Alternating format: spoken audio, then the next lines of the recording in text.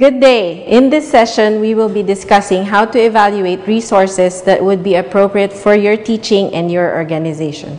So for evaluating tools, Tony Bates created the ACTIONS model in 1995.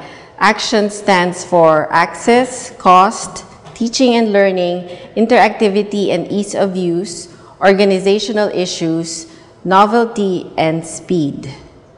But in 2003, uh, Bates revised the actions model to sections model, which now stands for students, ease of use, cost, teaching and learning, interactivity, organizational issues, networking, and security and privacy.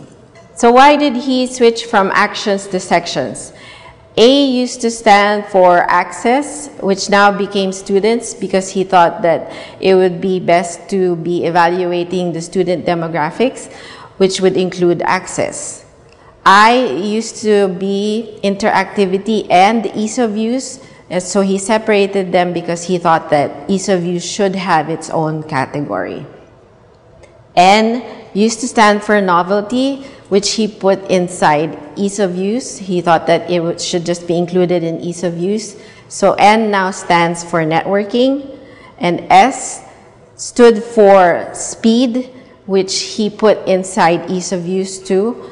And so S now stands for security and privacy.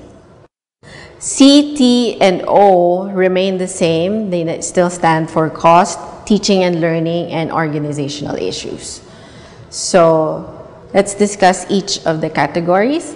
For students, yeah, you have to take into consideration your student demographics, their age, uh, where do they live, how are they going to access those tools, how quick do they learn technology. So those are the things that you look into when it comes to students. With ease of use, you have to look into how easy the tool is to learn for both students and teachers. Is it reliable? Does it break down too much? Does it require too much maintenance? And you also have to take into account how much tech support it needs.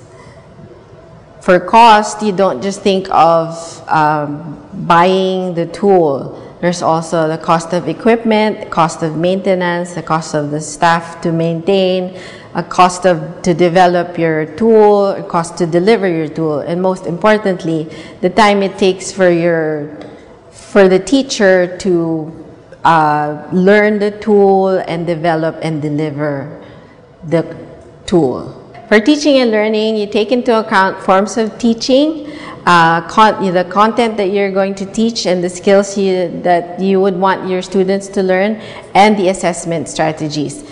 With interaction and interactivity, you have to take into account the learner-content interaction, learner-learner interaction, and learner-teacher interaction and also the quality of each of the three interactions.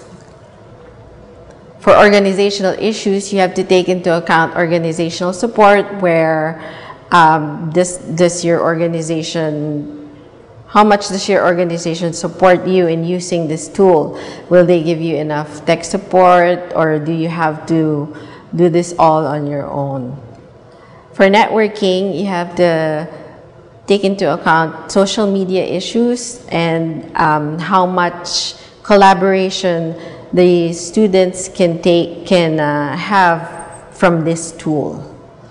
For security and privacy, uh, you have to make sure that the tool keeps their students and teachers' data secure and also that these uh, security and privacy policies are in compliance with the institutional policies and ethical guidelines.